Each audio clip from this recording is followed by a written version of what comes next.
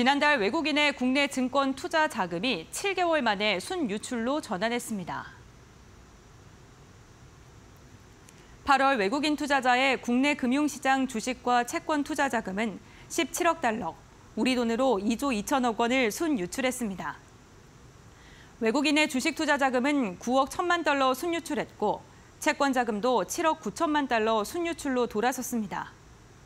주식 자금은 중국의 경기도나 우려 등의 영향으로 순유출 전환했고 채권 자금은 상대적으로 큰 규모의 만기 도래, 낮은 차익거래 유인 지속 등의 영향을 받았습니다.